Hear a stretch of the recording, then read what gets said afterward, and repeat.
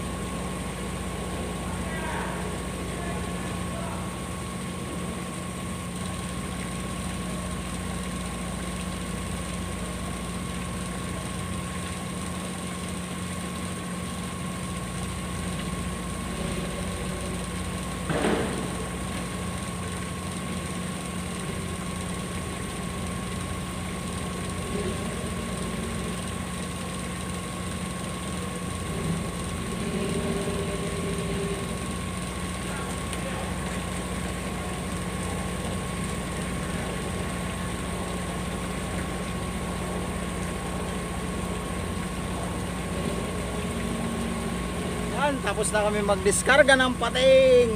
Maraming salamat sa inyong panonood.